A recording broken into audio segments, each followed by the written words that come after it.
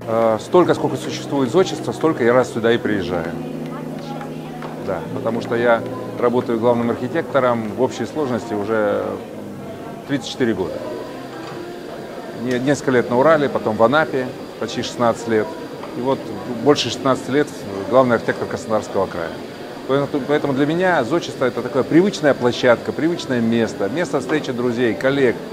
И думаю, что и ценность зодчества не только в том, что э, посмотреть достижения архитектуры, а чтобы посмотреть в глаза архитектора и увидеть, и услышать э, про, о проблемах, о достижениях, что очень важно, поддержать друг друга.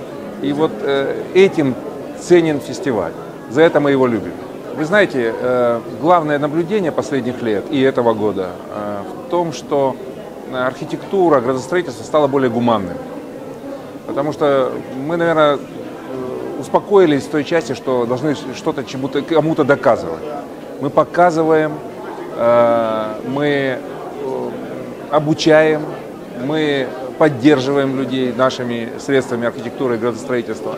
А вот та программа «Комфортная городская среда», которой мы, кстати, начали заниматься в Краснодарском крае много-много лет назад, задолго до того, как она стала национальным проектом и так далее, она просто ну, позволяет людям себя уважать, уважать то место, в котором они живут, уважать э, то окружение, которое сложилось, природу уважать.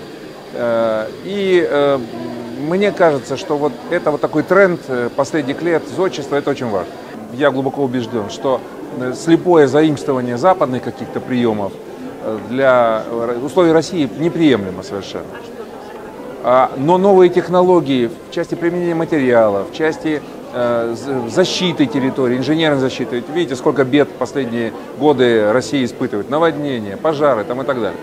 Наш президент Российской Академии Архитектуры строительных наук и по совместительству э, председателя Совета главных архитекторов э, Российской Федерации, э, городов и субъектов, Александр Викторович Кузьмин как-то написал очень грустную статью. Она называлась «Архитектура эпохи терроризма». Он говорил о защищенности всего того, что мы делаем. Это же относится и к природным катаклизмам и всему остальному. Вот это очень важно, то, что сегодня эти технологии здесь в том числе и представлены.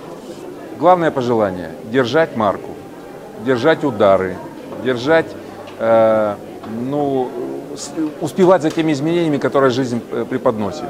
И э, удерживать этот профессиональный круг рядом с собой, внутри себя, для того, чтобы снова встретиться на фестивале «Зодчество 2019».